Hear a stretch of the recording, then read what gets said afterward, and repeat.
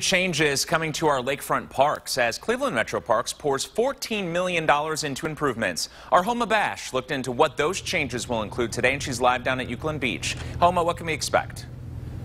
Well, Mike, don't expect anything overnight. Cleveland Metroparks has a 20-year master plan to revamp some of these lakefront parks. Starting in just a few weeks, though, you'll see big changes in construction coming over Euclid Beach and Euclid Creek. Just one of big, several big projects going on with all of that cash. Remember the Euclid Beach Park? Roller coasters, food, family fun, making this stretch of beach the place to be. Fast forward 45 years, and now you've got this. Room for improvement, right?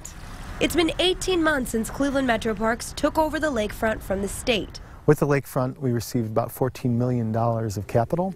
The first use of that money will be constructing a pedestrian bridge over Euclid Creek, connecting Wildwood and Villa Angela. New pathways approaching the bridge on both the east and the west side that amount to a little more than a quarter mile of trail. Next up, a million and a half bucks to tear out this old pier at Euclid Beach and build a brand new one.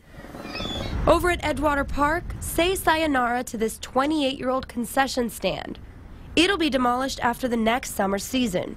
In its place, a two-story beach house with food, lockers, and a sunset viewing deck.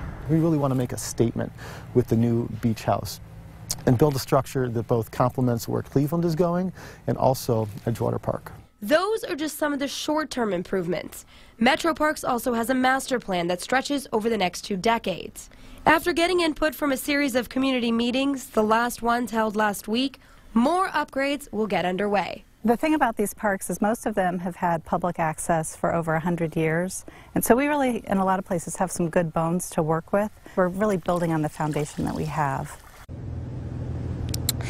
Construction uh, on this 165-foot pedestrian bridge will start sometime uh, in the next few weeks, and it's expected to end by next May. Now, you still have 10 more days to give comment to the long-term plans. You can go to the Cleveland Metroparks website. There is a public comment form where you can add that in. Live at Euclid Beach, I'm Homa Bash for The Now. All right, Homa, thank you so much.